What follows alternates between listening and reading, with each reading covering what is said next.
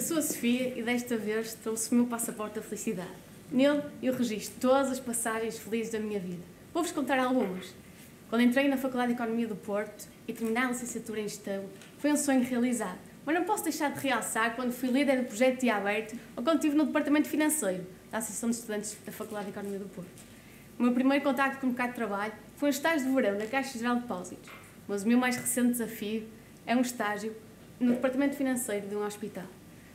Mas a minha vida não faz muito sentido se eu não tiver momentos de convívio, nomeadamente praticar desporto, fazer voluntariado e viajar. O Master Speech permitiu-me conhecer melhor, entre outras coisas. Mas o que é que eu pretendo agora? Ganhá-lo, para obter mais formação numa instituição de prestígio internacional, uma vez que a minha licenciatura é pós-Bolonha. Agarrar as oportunidades na área financeira que tanto me apaixona e desenvolver as minhas competências em nível de línguas estrangeiras. Na verdade, não fui muito, não fui muito original a trazer o tema felicidade para aqui.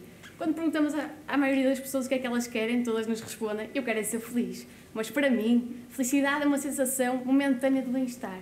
Algo que vem de dentro para fora. Sabem?